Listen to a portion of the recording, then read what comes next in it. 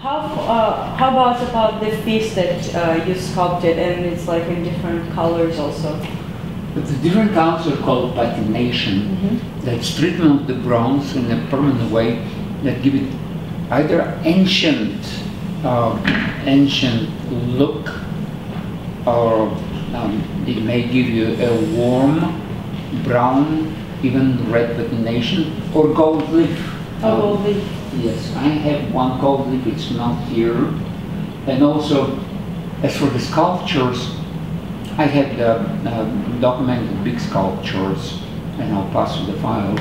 And where do you have them at now? I have one big in uh, Switzerland, another big in Germany, Geneva, Hamburg, actually two big in Geneva.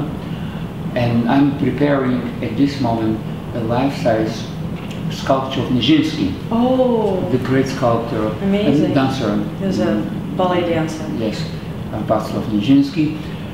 Um, I had been working on him, and I have several works on him.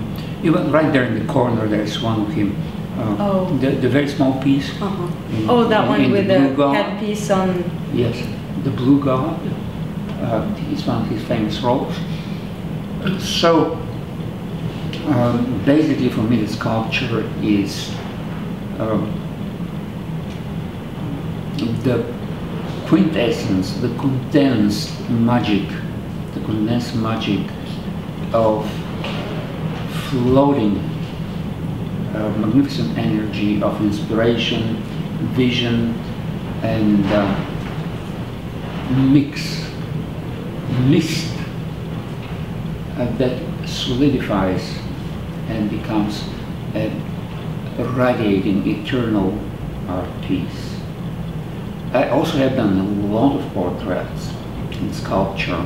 What do you think is the most interesting subject you ever had so far? Oh, that's such a good question. I can't say. Presently, I'm working on the Indian god Shiva. Shiva, that's what I thought. Was- not because I have some special fascination or dedication Mhm. to the Indian religion, of which I know something, but uh, it's not my uh, world of dreams. However, I'm greatly fascinated with his uh, posture and with his being dancer, and under him, I'm working on uh, Nijinsky. Oh, Nijinsky's not this. Oh, okay, this is Nijinsky. Yes. This is beautiful. Yes, I'm him, I'm working on Nijinsky. That's a beautiful piece. But uh, see, his head, his work, his body, his work. Mhm. So, if you wish, Nijinsky did the role the blue god, Mhm. which was one Which ballet was that? Diaghilev. Diaghilev. Yes. That was the special seasons of Diaghilevs, yes. Um, the ballet russe, uh, the famous ballet russe, which conquered Europe and America and so. Pavlova was part of it, I believe, right?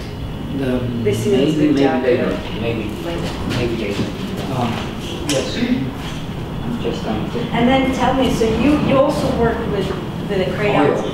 Oh, oh, that's the, Oil pastel. that's the oil pastels. Yeah, well, that's one of my techniques, my special techniques, uh, when I want tense and quick delivery of uh, material the canvas. Yes. like These, um, these are all pastels.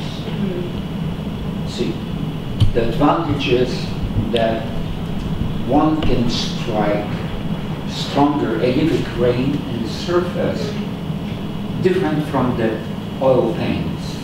Much, yes. Uh, um, and also one could cover very fast with great dynamism. And it's a stronger, harder, kind of like darker paste would be. It is. And also you can feel the resistance of the canvas, which is very important. You know, the, the canvas pushing back against you. And so, so here is Shiva, and this And why is it all the way around? Like, what is that? mean? Well, he has a circle, you know, uh, running around him. Uh, and I decided to sort of modify the circle and have per- perfect circumference. I decided to make this ornamental, ornamental, uh, the form. you know.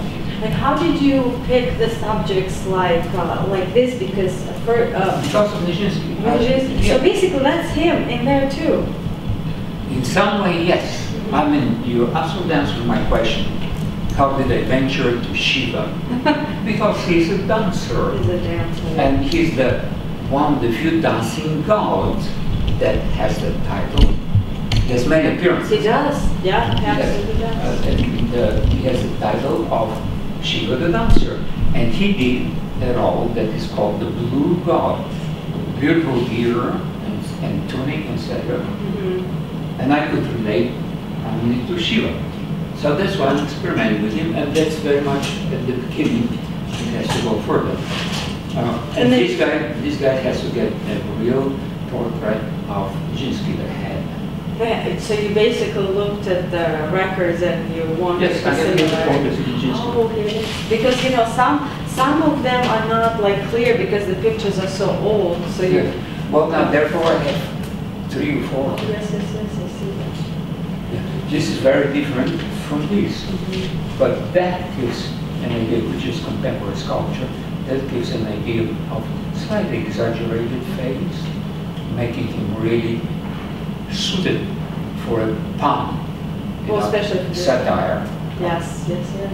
This one, the rose, the most scandalous role that shoot Yes. him, uh, they did shoot him to a s- superstar in Paris when he played, it's called the Afternoon and Faun Mhm. and music of Claude Debussy, and that shot him to superstardom in 1913.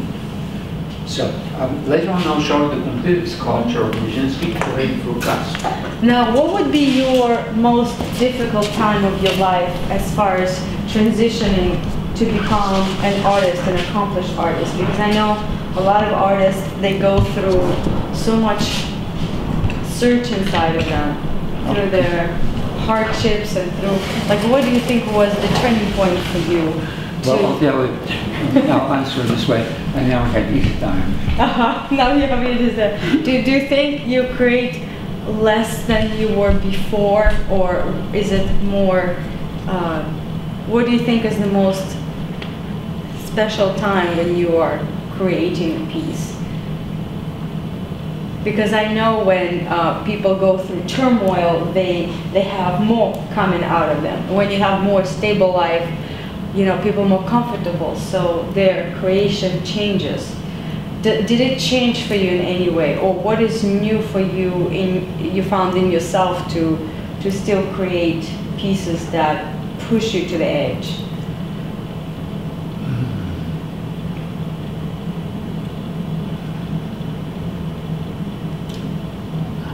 I would like to of myself mm-hmm. as a failure, Yes. 100% failure. I never came close to the goals that I dreamed of. But on the other hand, I came one day through some reading about the blessing of humility. So anytime uh, when some people grab the pillow, scream in the pillow, and I'm in the same condition, Mm-hmm. I don't do the pillow, I just say I'm relapsing in humility. Until again, the pain and the punishment, the surge to do something that I did not manage to do, uh, hits me again. Um, for instance, there is the Walt Disney Theater Yes. and on the West 42nd Street, Mm-hmm. and I did a mural that was completely destroyed. The mural was done by two German artists, Art Nouveau mural, in uh, uh, the beginning of the century. Um, and the theater was owned by Nederlander, by Jimmy Nederlander. At that time he wanted quick overnight renovation. Uh, by some chance I ended up, and from a non black and white photograph, I put the grid system from the photograph, uh, trying to reinstating, reinstating the figures. Mm-hmm. And uh, there's also this totally labor situation. You know, do fast, do fast, paint fast. So I finished and uh, advanced quite a lot. And at that time, Jimmy Nederlander decided he doesn't want uh, the project any longer and left it for a while. All works abandoned. Later on, um, Walt Disney purchased the theater. So they did not allow me to return and complete my work. They criticized very strongly my putting back the figures. But on the final account, uh, when they found that the only color photograph of this mural, which is giant, it is like, uh, uh, you know, it's probably, I would say, uh, 30, 35 feet, 40 feet long. Yes, semicircle Oh. with height of maybe 20 feet. Um, I'll show you, I have the book. I'll show. When they found the original, uh, they saw that my colors are completely different. I did not have the original colors, and they decided to keep my colors. Oh, amazing. Yes, but I did not get paid. Um, and for many years I've been trying to get paid as an artist. They said, no, you're hired as a labor hand, and you got yourself paid $15 an hour.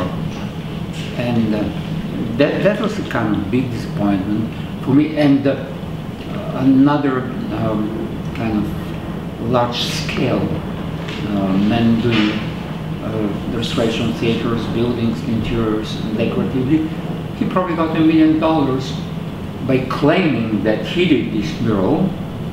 And the most scandalous thing is they preserved my mural with no changes. Oh. They did not, according to the law of conservation, they have to revert to the original, mm-hmm. to the exact colors after they found the document. They left my colors, which means they credited my art To someone else. And, and they did not give they did not give me the recognition. I tried to fight in court, but I had no chance against Walt Disney. But how do you think the artists can get paid? Because now this time and age, there's so many talented people, and it's so hard for them. Art culture can move forward instead of artists always being struggling artists and not to be able to do their work because they're struggling. Uh, well, there are good um, possibilities, like um, um, when I was teaching at the University of Maryland by pure uh, coincidence, I visited um, and I visited um, Switzerland. Uh, I got introduced to a uh, Bern art dealer from Switzerland. And he liked my work, and he purchased 18 editions of my etchings, which he sold very fast, and he was paying me annual, uh, uh, not salary, but annual contract, and that was very good. Um, and at that time, I felt um, creative, you know, teaching at university, gener- generating these uh, etchings, working with excellent printers um, in a shop, and that's a wonderful feeling. Uh, but then the guy drank himself to death, and uh, I, I was such a good dealer. But that's one option. Uh, for me, publishing etchings could be very um, rewarding and lucrative, and I still had many plates. Then I published etchings with another very good New York dealer, and then for many charity causes, I have published editions. The latest is uh, the Swiss house Hoffmann La Roche, which is big top world medications firm. So they invented the drug to treat hepatitis C. That was about 2000, and they made a convention to all doctors interested in Athens to see um, this drug, and they gave to every doctor one of my editions, etchings. They commissioned four editions. So that's one form. Uh, see uh, if I have a good agent, I positively could be um, enjoying a lot of creativity with that many plates ready to print it, in addition to what had been already done. Another thing for me are murals. You know, uh, Which which one was your last mural that you've done? Well, I told you the Walt Th- th- this is was the last one. Yes. Um, and also in Sweden, I did conservation of the oldest mural in Scandinavia. Um, and uh, um, that's one. So I'm speaking as the possibility of getting exposure and earnings. Forest. Murals, free. Uh, publishing of etchings, murals, and big commissions of sculptures. The commission in Hamburg kept me going on for two years. The commission in Sweden kept me going also for two years. Big sculpture, and I'll show you this. These are uh, large sculptures. Uh, making shows is very good, but it has to be done by a gallery that has the means to give you good exposure. What would do you think is the best gallery in New York for that matter? Well, you know, that's extremely political and I'll I avoid, see. Okay, I I'll avoid saying Yes. because it would promotion to people, I for see. people that uh, uh, they'll be free. Mhm. Uh, I mean, I'll be speaking good of people that may not uh, be interested in working with me, and it is like uh, uh, it. It will make me partial. Let's say I praise one dealer today. It turns out that another dealer that would consider my work gets upset and say, "Well, if you like him, go after him." It's true. It's all political. I agree. It's, it's sensitive, not only political. Sensitive, sensitive Yes. subject. Okay. It's like dating uh, one person or being asked which woman would you like to marry. True. You say, I would like to marry this, and one that is the real love, looking you all through all her life, uh, gets ticked off and say, oh, he selected her, and he doesn't see something like this.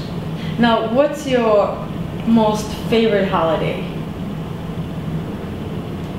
Location or time? T- time. Well, at time I loved skiing in Switzerland, Uh-huh. winter. Uh-huh. And also during the summer, I love going to the Caribbean. So both season, winter, it's so healthy in the mountains, Mhm. skiing, and uh, the Caribbean is also extremely inspiring. But I sleep a lot. I go on the beach after the heat is gone Mhm. in the early evening. Pass out. Yes, in the evening and feel the magic of the air and the water. It is magic. What would be your next chapter in your life? What are you looking forward to? Uh, yes, I'm looking more for a lucky strike, Mhm. like the one I had with Franz Bader, Mhm. the dealer of Washington D.C. Or like the Swiss dealer, which poor guy drowned himself to death, but he was very good to me. Or getting big sculptural commissions like um, Nijinsky there is on the balcony, he's in parks. Oh. But I'll have the, the composite of the whole figure and I'll show you. Somebody commissioned Nijinsky and many, many other sculptures. You know, I have a suite of abstract pieces of female, male sculptures. So I have full um, dimension Mhm. of working every day on something new, big, and uh, exciting to the public. Now, going through so many cultures in your life, what would be your favorite cuisine? My favorite cuisine? Uh-huh. Oh, that's a better question because I'm a cook. I'm a chef. Oh, you do? and how did you learn to do that? Here and there. Here and there? Um, Do you have people over the house for dinner? Yes, You do? I do. Do you think I'll have you. Thank you, but do you think that's more fun than just go to the restaurant? Oh yes, of course. You know, um, I cook. Uh, I feel so important. I deliver universal truths to my audience. I hear their opinions. Then the food is good. You know, you get their uh, saliva running from the smell. Mhm. and you give the of your secrets, no, all. Not all. And so, but favorite cuisine, let me think, let me think. I, I have favorite meals from many different cuisines, but favorite cuisine. Like when you're growing up, the Bulgarian or Swedish, or because I know that's more like you know, Possibly not Swedish. They have good stuff, but possibly not Swedish, not German. Polish? No. no Polish. Too heavy. Um, I, I could say preference for French, Uh-huh. Italian, Spanish, Bulgarian, Hungarian, Mhm. and uh, but from all of this, from all of this, um, I'm picking up uh, one or two favorite dishes. Mhm. Let's see, like uh, um, meatballs, That's Italian, isn't it? no, meatballs on grill Oh, okay. are um, the favorite Bulgarian meal. Mhm. They crave for this, and nobody does meatballs on grill as good as the Bulgarians. Mhm. and they do parties even in this country when there's a picnic or um, you know um, uh, or, or party yeah. outdoor party with grill of uh, steaks and chops and uh, sausages Mhm. Nobody does as and it's a simple thing. then I like also uh, Greek cuisine. One of my favorite cuisines, I could say, not one country, but as a meal, is seafood. I love Yes, seafood. yes, Uh, it is absolutely delicious. Um, so, um, can come with the specific cuisine. Maybe later, after you walk through here, then I'll give a call and say, oh, and no, I realized I can explain why I did not say that none of this my favorite. And, and if you would choose any museum in the world, where would you like to have your whole collection exhibit That's such a good question. okay. Like you would have a person who would offer. You can have it any way you want. What would you do? Where would you go? Hmm.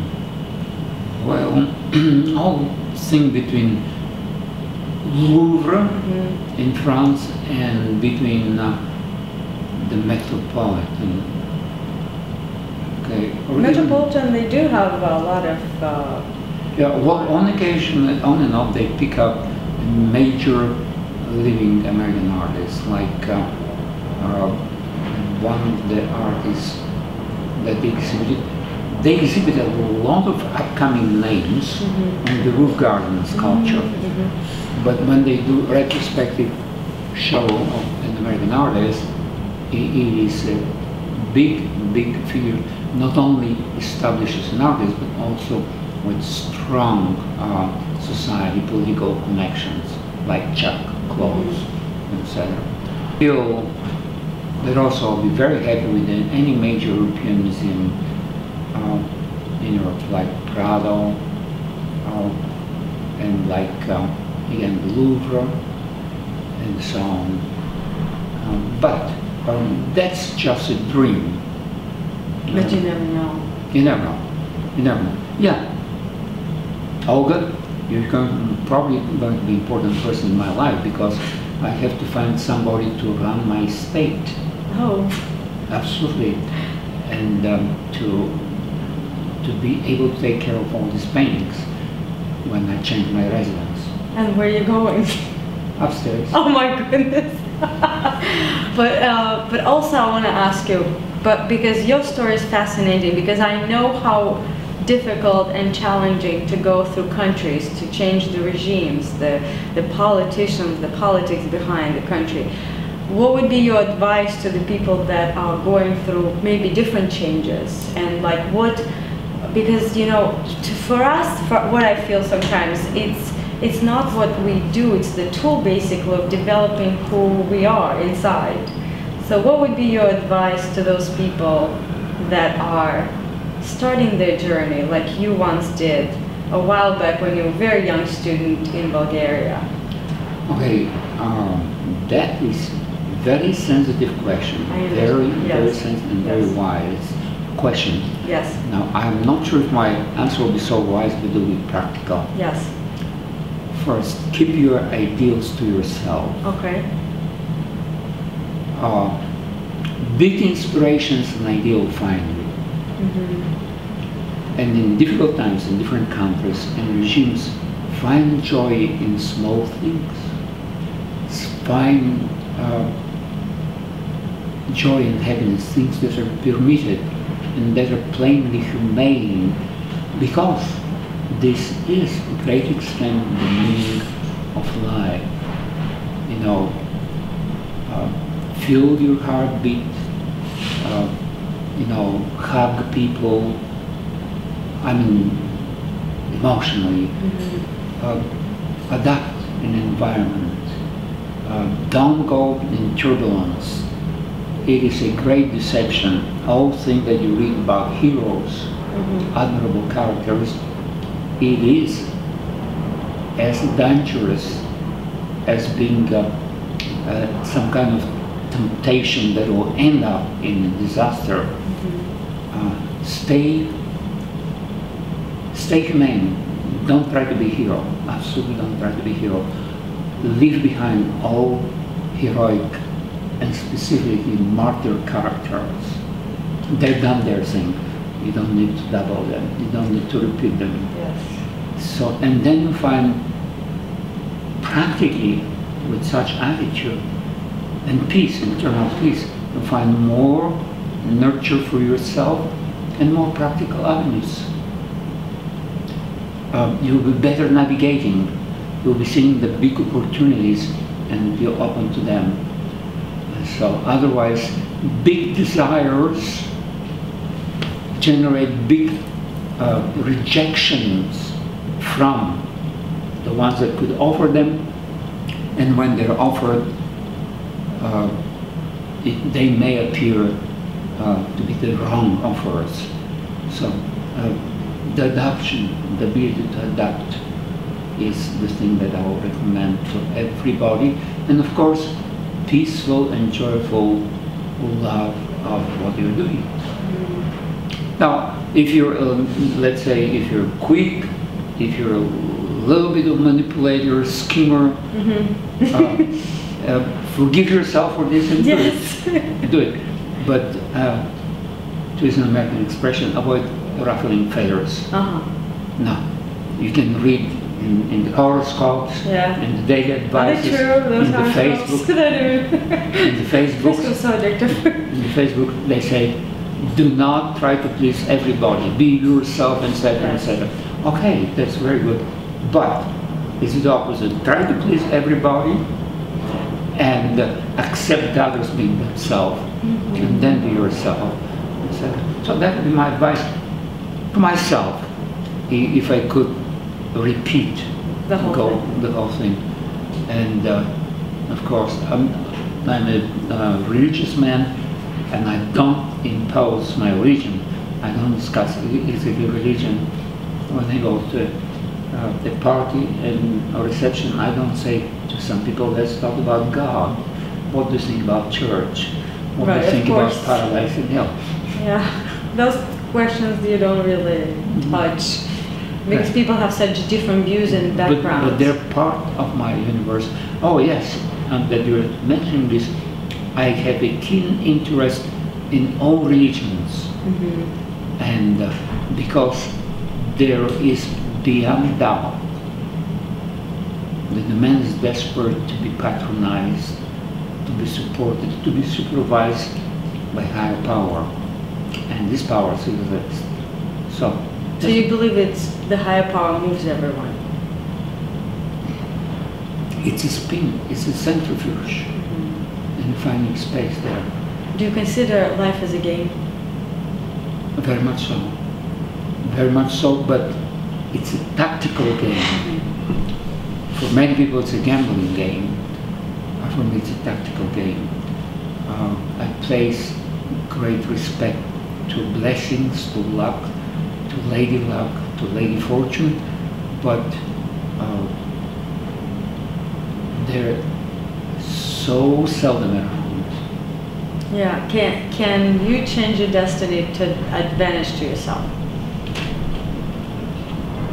This is what I'm trying to do. This is what I'm trying to do. Um, and um, Eastern philosophies helped me quite a lot. Um, and maybe I say Eastern philosophy because the conventional Bulgarian, Polish, Swedish, or American philosophy is drummed too much in my ears, so I need a little bit escape. But in some ways, I find Eastern philosophy to be practically more applicable and uh, requiring less submission less submission to deity, to controlling powers. What are your three wishes? My three wishes? Three wishes. Oh, my three wishes? Yes, your three wishes. It's always our question. Well, um, financial independence. yes. Um, and beautiful, sweet-tempered woman, Uh-huh. and uh, uh, getting recognition of my art. I, I wish you all the best. We wish you Thank amazing success, and uh, it's been such a delightful time with you here. Thank you, thank you, Olga. It's my trick. I don't believe I'm being going to be part of your magazine. It's very, very exciting for us to finally made it here. And uh, also probably you and I could do some interesting things in the future. Absolutely. And Pop in Presscom.